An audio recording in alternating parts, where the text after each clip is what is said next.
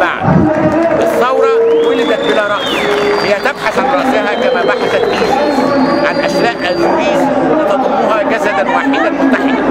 الثورة تعني الثوره تعني كنس النظام القديم وفتح طريق لم يتحقق كنس النظام القديم خطوة واحدة حتى فلم تتقدم المحاكمات الهزلية سنتيمترا واحدا ولم يعد واحد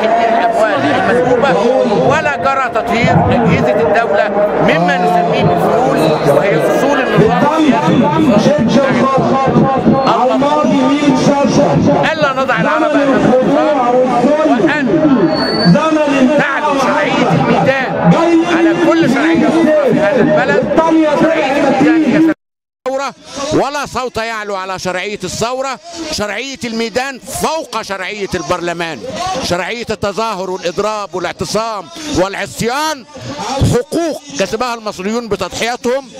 أظن أن الفترة المقبلة سوف تشهد توترا متزايدا بين الميدان والبرلمان. على سبيل المثال الميدان يطلب محاكمة ثورية لمبارك وعصابته. لن يتحقق ذلك إلا بأن يصدر البرلمان تشريعا خاصا بمحاكمة مبارك يحولها إلى محاكمة سياسية شاملة. هل يستطيع البرلمان ذلك؟ هذا هو التحدي الأول الذي يتقدم فيه الميدان على البرلمان. التحدي الآخر يتعلق بمحاكمة جنرالات المجلس العسكري عن أفعال ارتكبوها وتنتسب لجرائم المال والدم. المجلس العسكري يطلب تشريعا بالحصانة على طريقة حصانة الشاويش علي عبد الله صالح. هل يمكن؟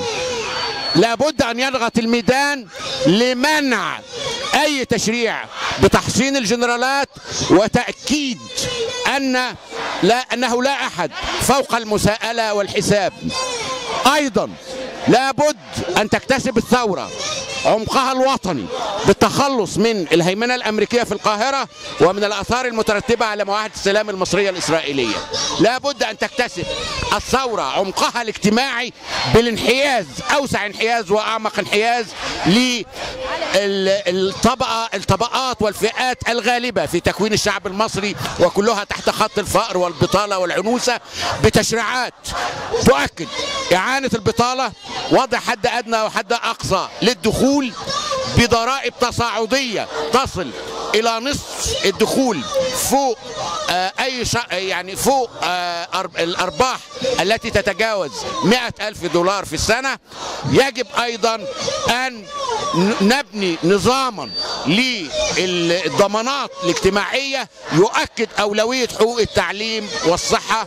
باختصار يجب أن نخلص هذا البلد من بؤسه ويأسه لكي يستطيع أن يختار في الانتخابات بصورة صحيحة لا كما جرى في الانتخابات الأخيرة بالتصويت الديني والاستفتاء على ربنا بعد اليأس من الخلاص في الدنيا. شكرا.